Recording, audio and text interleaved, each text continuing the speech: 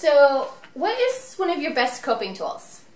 So I would have to say that probably for me, my best coping tool is my sense of humor. Um, there's been a lot of times in my lifetime where my sense of humor or taking something and rephrasing it and making it funny, you know, both to me and to other people, um, has helped me to deal with difficult situations. Um, what was the turning point in your path to recovery? For me, a turning point, ironically, I was uh, uh, in a case management organization and I was taking a class on CBT, and I had no idea what CBT meant. You know, it's cognitive behavioral therapy. Now I know that. But it was basically about your core belief, and my core belief was that I was no good and I was a horrible mom. And so challenging that belief um, was instrumental in my ability to begin to get better. Um, who was the most supportive person in your life, and what was the most helpful thing they did? So for me, there was a, a guy named Steve Harrington. He actually um, is the founder of National Association of Peer Support Specialists. And he was an individual who had schizophrenia or had a diagnosis mm-hmm. of schizophrenia, yet he had got his PhD and he had got his law degree. And he told me that I could do these incredible things. And I believed him and I, I began, you know, to do those things in small instrumental amounts, you know, getting on committees and on boards and actually having people find what I had to say as valuable. All this good stuff. And then they would send me to these conferences. And for somebody like me, I walked into a place like the Marriott.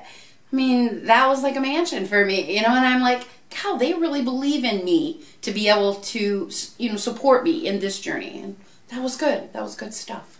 So let's say, um, what would be the message that you'd want to give your past self when you were at your lowest point?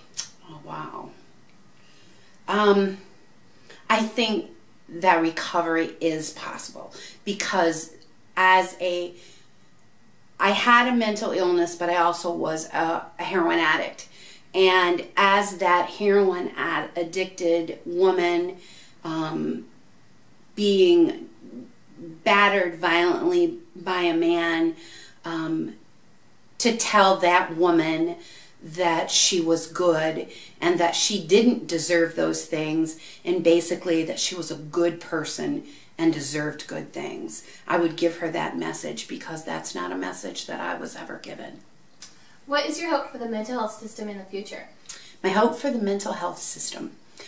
Well, first of all, I, I appreciate the fact that they've begun to feel that we have validity and that there are um, things that we can do are of value. I just wish that the mental health system would put more investment in those of us who are um, with lived experience and the value that we can have in helping another individual. So, what are some of the things that you do when you feel yourself slipping back into a darker point in your life?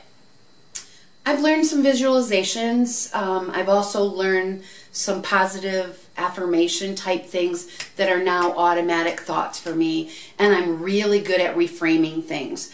Um, it used to be that I would have to look for the goodness. Today, I just automatically see the goodness in, in people, in situations, and, and can find that positive point.